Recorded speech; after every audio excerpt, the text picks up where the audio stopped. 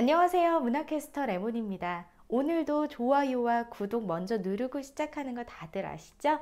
그게 저한테 큰 힘이 됩니다. 그럼 시작할게요. 오늘 함께 볼 작품은 박경리 작가의 불신시대입니다. 1957년에 발표된 작품이고요. 한국 전쟁 당시와 그 이후를 배경으로 하고 있습니다. 아주 직접적인 제목이에요. 이 소설은 시대를 불신할 수밖에 없는 일들이 얼마나 많은가를 보여주고 있어요. 주인공을 중심으로 불신할 수밖에 없는 상황이 어떤 것들인지 알아볼게요. 주인공은 1950년 9.28 수복 때 폭격으로 남편을 잃은 여인입니다. 남편이 목숨을 잃기 전에 한 이야기가 있어요. 자기가 경인 도로에서 괴력은 소년병이 죽어가는 걸 보았는데요. 목이 탔는지 물을 달라고 하기에 행인 하나가 수박을 쪼개줬대요. 그런데 그것도 채 다 마시지 못하고 세상을 떴다는 거예요. 아이고, 마치 다른 사람의 죽음으로 자신의 죽음을 예고한 사람처럼 그런 얘기를 했더라고요. 진영에게는 문수라고 아들이 하나 있는데요. 남편이 해주었던 이야기를 꿈으로 꾼 다음 날 아들이 죽고 말아요.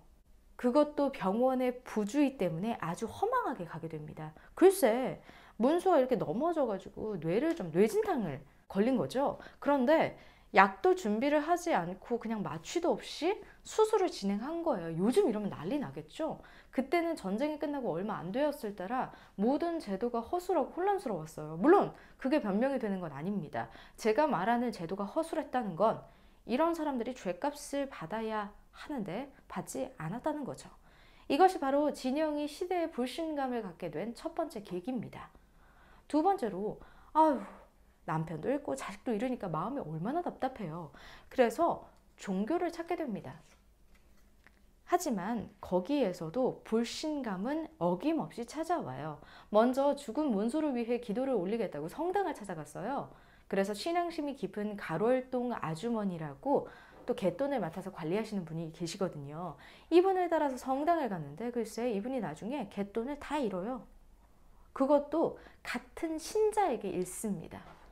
같은 신자가 어, 상배라고 원래 무신론자 대학생이었는데 어느 날 영세를 받겠다고 나섰어요. 영세가 뭐냐면요. 세례를 받는 의식이거든요. 그리고 나서 이 아주머니가 속없이 상배네 아버지한테 갯돈 전부를 모아가지고 사업 자금을 빌려줍니다. 그리고 그분이 돌아가셨네요. 돈을 받을 데가 없어진 거죠. 또 성당에서 소개받은 Y병원의 의사는 돌팔이에요. 주사 불량을 속이는 엉터리 병원이었고요. 그렇다고 집 근처에 있는 병원에 간다고 나아지는 것도 아니에요. 거기는 아예 건달이 의사 행세를 하고 있더라고요. 그리고 교회 안에 들어갈 때 모두들 남을 믿지 못해서 신발을 싸가지고 들어가더라고요. 서로 믿지 못하는 거죠. 네.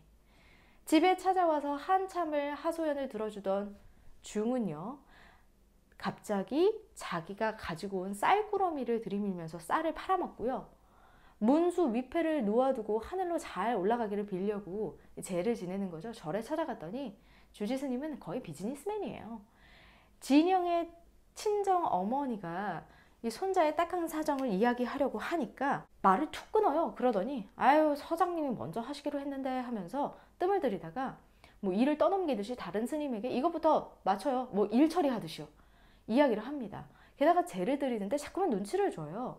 돈도 조금 기부한 게 새벽 대바람부터 와서 불금을 드린다 이거죠. 그러니까 빨리 하고 가라, 빨리 하고 가라 이런 느낌인 거예요.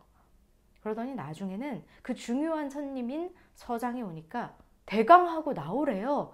자식 죄를 올리는데 뭐 이런 경우가 다 있어요. 아이고야 이 세상이나 저 세상이나 그저 돈이 있어야 한다네요. 그리고 진영신의 가족처럼 이렇게 죄를 올릴 때 돈을 조금 내면 스님들은 뭘 먹고 사냐. 크, 기가 막혀서 정말 이게 말이에요, 방구예요.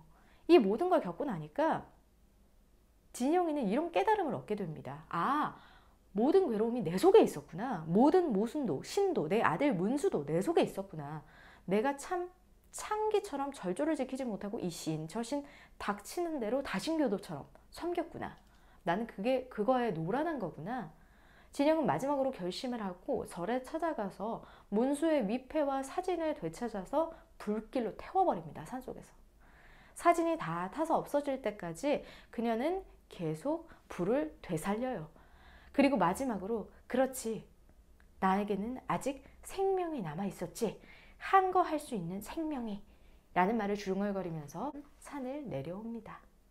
이야기는 여기까지예요. 사실 사람들은 무엇을 하려고 노력할 때보다 무엇인가를 내려놓고 그만둘 때 이 자기 자신의 그 소신이 더 명확하게 드러나는 것 같아요.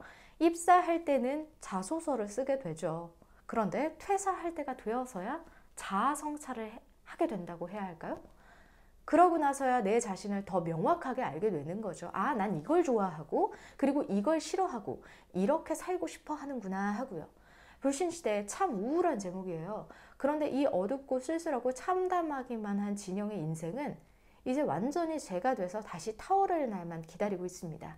그건 전적으로 진영이가 그렇게 하기로 자신의 생명을 인식하고 한 거 하겠다.